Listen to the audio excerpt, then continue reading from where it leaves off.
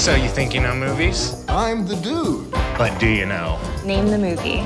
But how about? What is the only line spoken in this scene? Or this? Name the actress with the red hair. Well, if you said Tremors. Turn the light off. Molly Ringwald, Congratulations, you're a clipologist.